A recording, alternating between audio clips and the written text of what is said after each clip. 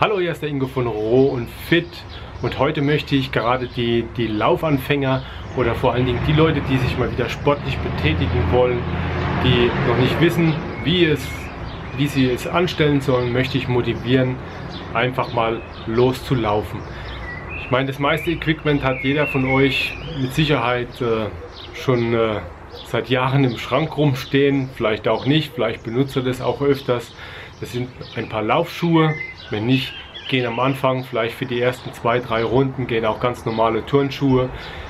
Vielleicht jetzt bei diesen Witterungsverhältnissen, jetzt wird es immer wärmer, wir haben den Früh, wir haben jetzt gerade Frühling, dass ihr vielleicht noch ein paar kurze Hosen im Schrank habt, ein Laufshirt und dann kann es eigentlich schon losgehen.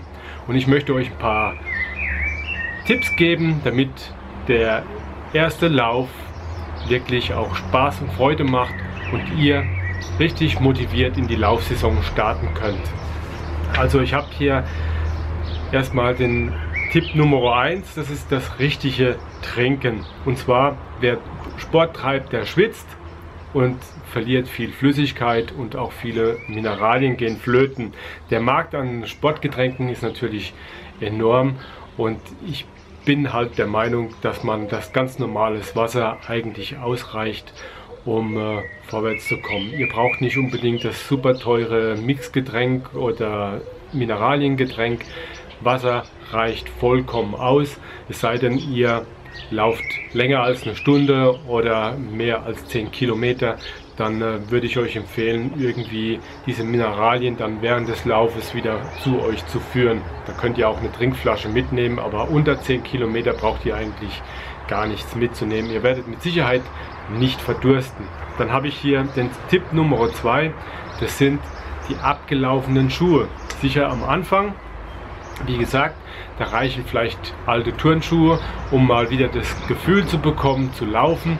Aber wenn ihr noch so alte Turnschuhe habt wie die, die hier, so Laufschuhe, wo hier auch so eine äh, farblich abgestimmte oder abgesetzte Maserung drauf ist und die dann abgelaufen ist, wenn man hier so sieht, hier kommt schon der Schwarze durch, dann äh, empfiehlt es sich langsam aber sicher sich neue Laufschuhe zuzulegen, weil eure Knie, die danken es euch, weil irgendwann kommt ihr nach Hause nach so einem Lauf und denkt, Mensch, heute tun meine Knie weh, guckt euch die Laufsohle an, wenn die arg abgelaufen ist, dann solltet ihr neue Laufschuhe auf jeden Fall mal ins Auge fassen, ich meine, so ein Laufschuh, der hält so an die 500 bis, bis 800 Kilometer, je nach Körpergewicht und je nach Gelände, wo ihr halt rumjoggt.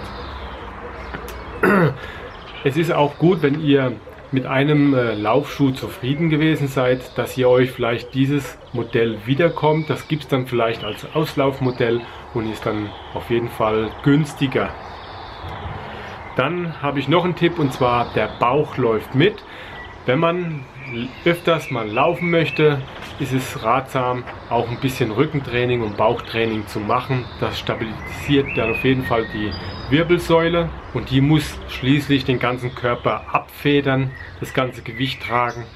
Und ein weiterer Pluspunkt ist, dass deine Beine auf jeden Fall höher kommen, dass du die höher heben kannst und das kommt deinem Laufstil auf jeden Fall zugute. Dann habe ich noch einen wichtigen Tipp und zwar das richtige Lauftempo. Wählt auf jeden Fall nicht zu schnelles Tempo. Gerade Anfänger, die das erste Mal wieder laufen, die begehen den Fehler, dass sie zu schnelles Tempo angehen. Hört auf. Wenn ihr zu zweit joggt, dann ist das richtige Tempo auf jeden Fall dann, wenn ihr euch noch ganz normal unterhalten könnt und nicht nach jedem Wort tief nach Luft schnappen müsst, dann seid ihr definitiv zu schnell, dann ist das Tempo für euch zu schnell. Wenn ihr zu zweit joggt, achtet auch auf den Partner, wenn der Schwierigkeiten hat, irgendwie auf eure Fragen zu antworten, dann äh, lauft auf jeden Fall etwas äh, langsamer und passt euch dem Tempo des Partners an. Dann habe ich noch einen Tipp, gerade für Anfänger ist es manchmal gut, wenn sie am Anfang zu schnell sind, dass sie sich eine Pulsuhr zulegen und dann nach Puls laufen. Es gibt eine bestimmte Formel, die euren optimalen Pulsbereich ermittelt. Die zeige ich euch hier. Und Nach dieser Formel berechnet ihr euren optimalen Pulsbereich. Das ist sicherlich am Anfang ist das äh, sehr hilfreich, aber je fitter ihr werdet, umso eher stimmt diese Formel nicht mehr. Das sage ich euch gleich. Aber für Anfänger ist diese Formel recht hilfreich. Und dann gibt es noch etwas, um richtig motiviert zu sein, ist vielleicht, wenn ihr noch ein bisschen Musik dabei habt, entweder mit eurem Handy, welches ihr vielleicht hier am Arm trägt und äh, mit Kabel seid ihr dann verbunden mit eurem Ohr und dann richtig geile Laufmucke drauf habt, dann äh, seid ihr absolut motiviert und äh, ein paar Songs oder ein paar CDs, die werde ich euch unten verlinken. Also die haben sich bei mir sehr gut bewährt und es ist wirklich motivierend, mit dem richtigen Takt loszulaufen. Wenn ihr dann schon ein bisschen länger vielleicht wieder im Training seid, dann ist es auch sehr hilfreich, um nicht äh, auf dem Niveau stehen zu bleiben, dass ihr vielleicht auch ab und zu mal so ein äh, Intervalltraining einbaut. Das pumpt richtig Sauerstoff in eure Blutbahn und ähm, verbessert auf jeden Fall eure Kondition. Kann es nur empfehlen wenn nicht draußen, wenn das Wetter zu schlecht ist. Ich habe es auch, auch schon auf dem Laufband gemacht, da funktioniert es meiner Meinung nach sogar noch besser, weil man genau die Zeiten einstellen kann, wann schnell und wann langsam gelaufen werden soll. Aber draußen ist das auch kein Problem. Mit einer Pulsuhr oder mit einer Stoppuhr geht das wunderbar.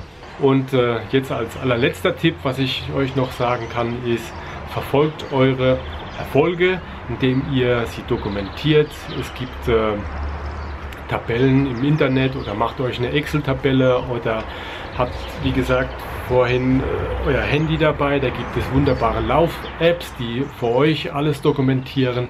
Das hilft euch gemein, eure Leistung auf jeden Fall zu steigern. Und mein allerletzter Tipp ist, arbeitet auf jeden Fall auf ein Ziel hin. Das kann sein ein 10 Kilometer Lauf, ein 5 Kilometer Lauf oder vielleicht sogar ein Halbmarathon oder Marathon.